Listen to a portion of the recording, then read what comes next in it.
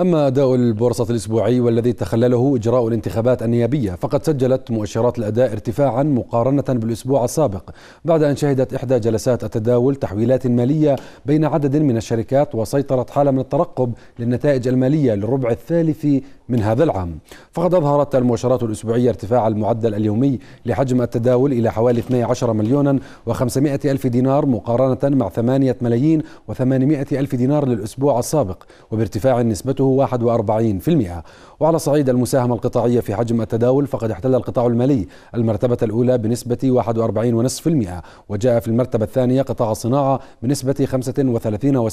35.7% وأخيرا قطاع الخدمات بنسبة 22.8%